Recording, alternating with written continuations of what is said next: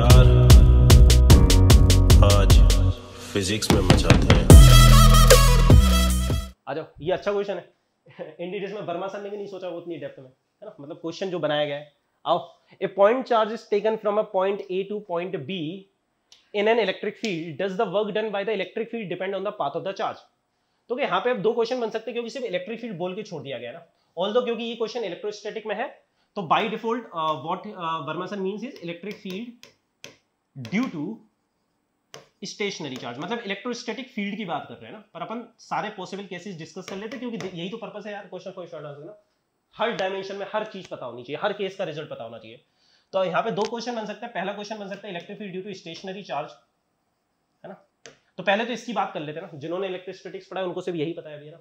तो जैसे देख लो, है ना, दो प्लेट्स प्लेट से मान लो कैपेसिटर प्लेट्स हो, कुछ भी हो, है ना? यहाँ पे यूनिफॉर्म इलेक्ट्रिक फ़ील्ड है ना? ये तुम्हारी कंजर्वेटिव फ़ील्ड है। इलेक्ट्रोस्टैटिक, है ना स्टैटिक चार्ज के कारण जो फ़ील्ड आती है इलेक्ट्रिक फ़ील्ड उसको इलेक्ट्रोस्टैटिक फ़ील्ड बोलते हैं। It is conservative in nature वो कभी भी लूप नहीं बनाती है ना, वो डाइवर्ज करती है ना। हम्म।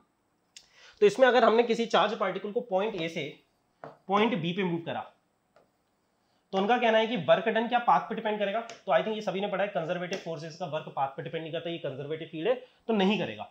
तो चाहे तुम इस पाथ पे लेके जाओ, चाहे तुम ऐसे मूव करो, चाहे तुम ऐसे मूव करो work done will be same तो उनका क्वेश्चन था does the work done by the electric field depend on the path of the charge answer is no पहले वाले केस में आंसर रहेगा नो पर यहाँ पे एक और क्वेश्चन बन सकता है, क्योंकि सिर्फ़ इलेक्ट्रिक फ़ील्ड बोला गया है।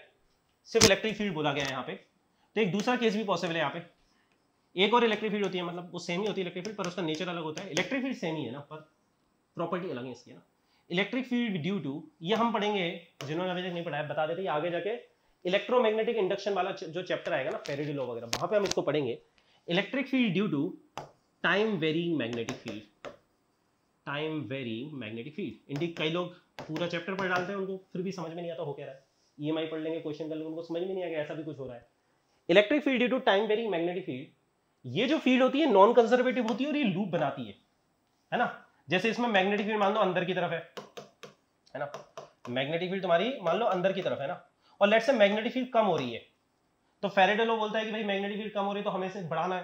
तो इसके लिए जो इंड्यूस इलेक्ट्रिक फ़ील्ड आएगी, वो ऐसी आ जाएगी लूप में आएगी।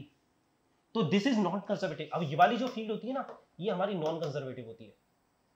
और नॉन कंजर्वेटिव फ़ील्ड मतलब नॉन कंजर्वेटिव फोर्सेस का वर्क पाथ पे डिपेंड करता है। अब डिपेंड करेगा, तुम उसको इस पाथ पे ले जा रहे हो या इस पाथ पे ले जा रहे हो, दोनों में अलग अलग वर्क आएगा।